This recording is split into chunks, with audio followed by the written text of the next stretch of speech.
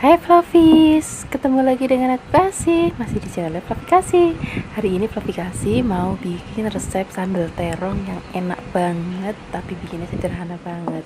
Bahan-bahannya juga gampang banget Dan bisa kita beli di tukang sayur sebelah rumah.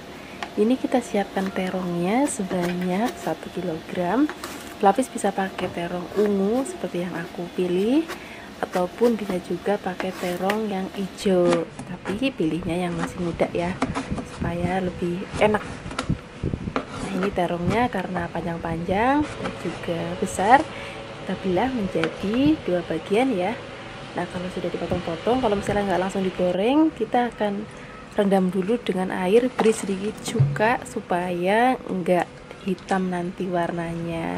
Tapi kalau misalnya mau langsung digoreng juga nggak apa-apa nggak usah direndam dulu. Nah sekarang kita siapkan untuk bahan sambalnya ya. Di sini kita siapkan dua tomat kemudian ada satu bawang putih ada enam bawang merah 20 cabai rawit dan 10 cabai merah keriting. Nah sekarang kita akan goreng terlebih dahulu. Terongnya ya. Siapkan wajan dan minyak secukupnya. Ini minyaknya aku pakai minyak goreng kelapa dari cap ikan dorang biarkan sampai panas. Kalau sudah kita akan goreng terlebih dahulu terongnya nah untuk menggoreng terongnya biar nanti warna tetap cantik minyaknya harus benar-benar panas banget ya.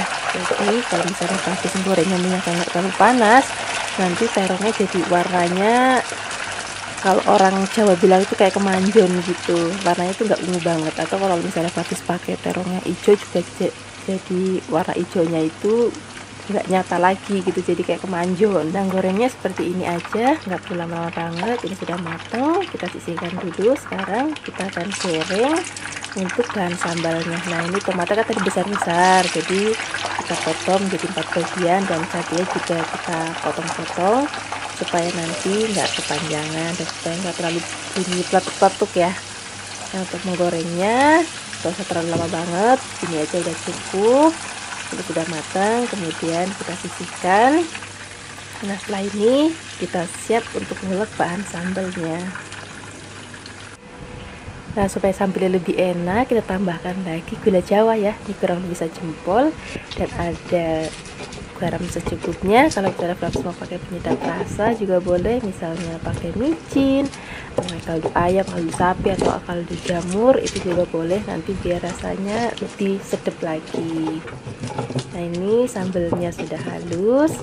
Sekarang kita langsung aja taruh terongnya di atas sambalnya. Ini udah makannya udah nggak berapa apa lagi kalau lauknya udah begini. Jangan lupa beli irisan jeruk nipis ya supaya lebih seger lagi.